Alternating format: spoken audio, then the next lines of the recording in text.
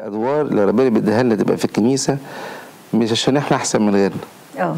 لا ده ربنا حاطط في كل واحد فينا كل الشعب مواهب مختلفة.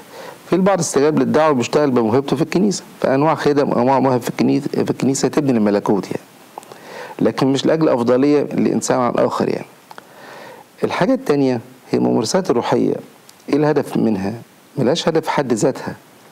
هدفها الوحيد الامتلاء بروح القدس والامتلاء بثمر الروح تمام. فلو أنا محبتي ما زادتش الآخرين مع إن حافظ ايات عن المحبة قد كده وبصوم قد كده أنا ما عملتش حاجة.